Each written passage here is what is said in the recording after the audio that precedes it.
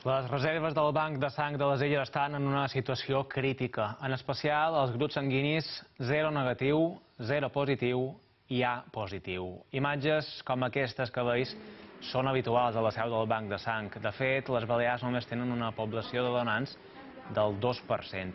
La Fundació del Banc de Sang i Teixit vol fer una crida als potencials donants, qualsevol persona entre 18 i 65 anys, que pesi més de 50 quilos i gaudeixi de bona salut.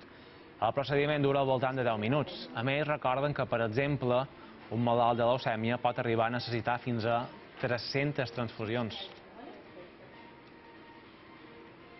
És complicat que una persona s'impliqui, que una persona superi, per exemple, la posa agulla, si no sap que la seva donació pot anar a un nen que per tenir un trasplantament necessita aquesta sang. A Espanya estem molt orgullosos de que som líders internacionals a nivell de trasplantaments, però no hi ha trasplantament d'òrgans sense donacions de sang, sense transfusions. Tota la gent que tingui dubtes, que li faci posa agulla, que no sabi si fer-ho si, si, si fer o no fer-ho, el que els, hi rep, els gens un repte, que és que ho provin una sola vegada i els hi garanteix que es faran donants.